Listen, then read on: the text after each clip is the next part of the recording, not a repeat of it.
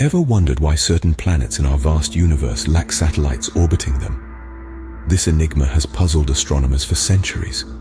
After all, satellites, or moons as we commonly refer to them, are a staple in our night sky.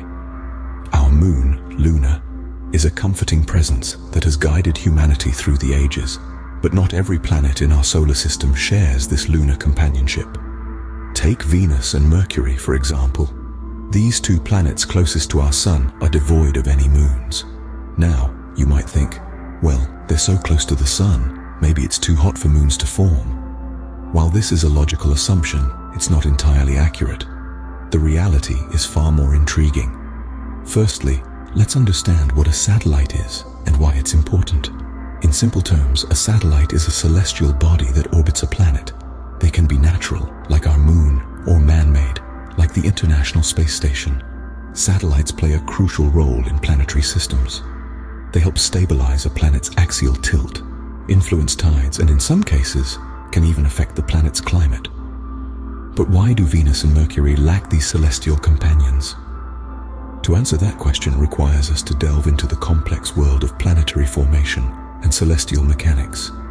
Factors like the planet's proximity to the Sun, its gravitational pull, and its size all contribute to whether or not it can capture and retain a satellite in its orbit. The absence of satellites around these planets is not a random occurrence. Instead, it is a product of the unique conditions and events that took place during the formation of our solar system. So, while Venus and Mercury may lack the lunar companionship we're so accustomed to on Earth, they offer a unique glimpse into the diverse and often surprising mechanics of our universe. As we delve deeper, you might find that the absence of satellites around these planets is not just a random occurrence, but a result of fascinating cosmic phenomena. First off, let's zoom into our solar system's innermost planet, Mercury. A fascinating world, Mercury is a planet of extremes. It's the smallest planet in our solar system with a surface scarred by impact craters and a history of violent collisions. But despite its diminutive size and turbulent past, Mercury is a planet that holds a wealth of information for those willing to look. So why doesn't Mercury have any satellites? The answer is quite interesting, and it has everything to do with its location. Mercury is the closest planet to the Sun, and this proximity has a significant impact on its gravitational interactions. The Sun, being the massive object that it is, exerts a powerful gravitational pull on anything that comes near it, including Mercury. The gravitational influence of the Sun is so strong that it makes it difficult for Mercury to capture or maintain a satellite. A potential moon would need to have just the right speed and trajectory to fall into a stable orbit around Mercury without being pulled away by the Sun's gravity. It's a delicate balance, and so far it seems that Mercury hasn't been able to achieve it. Moreover, Mercury itself has a relatively weak gravitational field due to its small size. This means it's even harder for the planet to hold on to anything that comes its way. A satellite would need to be incredibly close to the planet to stay in orbit, which would make it even more susceptible to the sun's gravitational pull.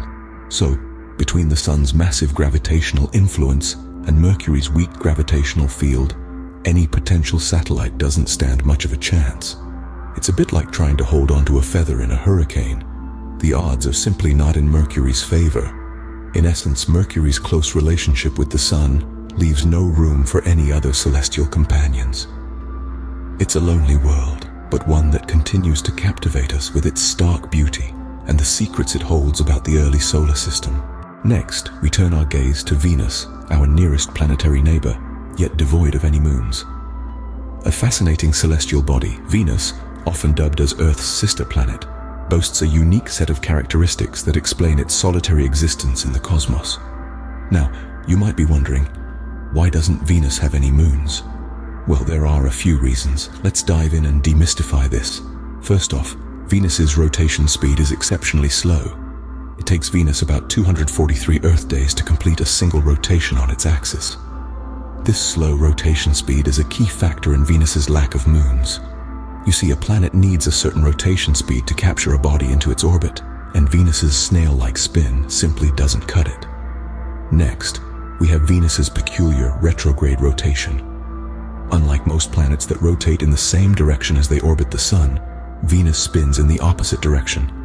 This retrograde rotation disrupts the gravitational dynamics that are necessary for capturing and maintaining moons. Lastly, Venus lacks a strong magnetic field. A robust magnetic field is vital for protecting a planet's atmosphere from solar winds. Without it, any potential moon of Venus would be exposed to these harsh solar winds, making it difficult for the moon to remain in orbit. So, those are the primary reasons why Venus stands alone in space without any moons. Its slow rotation speed, retrograde rotation, and lack of a strong magnetic field all contribute to this phenomenon. But on the flip side, these unique traits make Venus a captivating subject for astronomical studies. Thus, Venus's uniqueness extends to its solitary existence in space without any satellite companions. It's a lonely beauty indeed, but one that continues to intrigue and inspire us as we delve deeper into the mysteries of the universe. Now that we've explored the specifics, it's time to look at the broader cosmic mechanisms at play. When we gaze into the night sky, it's easy to get lost in the beauty of it all. But behind that beauty lies a complex dance of cosmic forces shaping and directing the celestial bodies we see.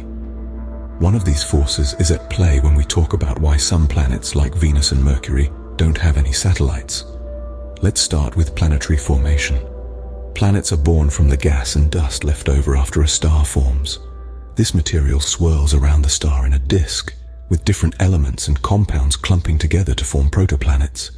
But not all of these protoplanets will become full-fledged planets. Some might collide and merge, while others might be flung out of the system entirely. In this cosmic lottery, not every planet wins a moon. Another factor is the gravitational influence. Every celestial body exerts a gravitational pull on the bodies around it. This gravitational ballet determines the orbits of planets and their moons. But here's the catch.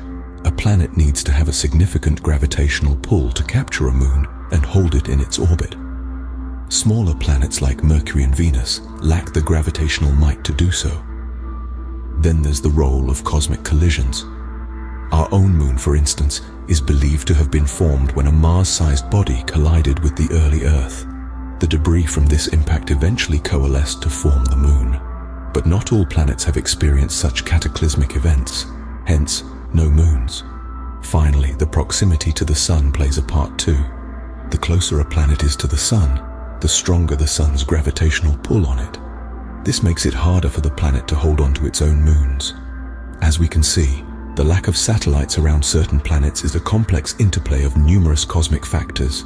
To wrap things up, let's revisit the key points we've learned today.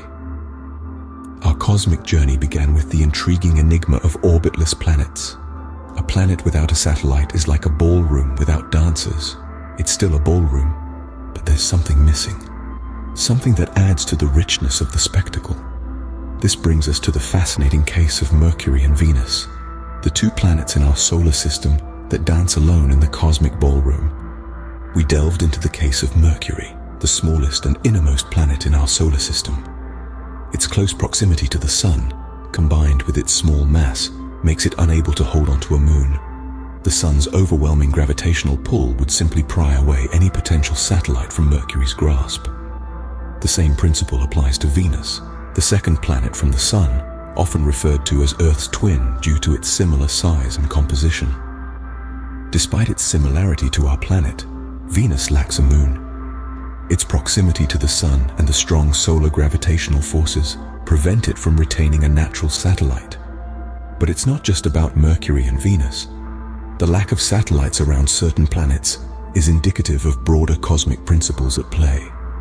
From the gravitational forces that bind celestial bodies together to the dynamical processes that lead to the formation and evolution of planetary systems, every detail contributes to the grand tapestry of the cosmos.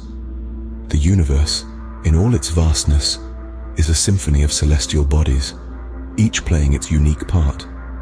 The absence of satellites around certain planets is just one of the many melodies in this cosmic symphony reflecting the intricate and fascinating complexities of the universe. So, the next time you gaze up at the night sky, remember that the absence of satellites around certain planets is a testament to the intriguing complexities of our universe.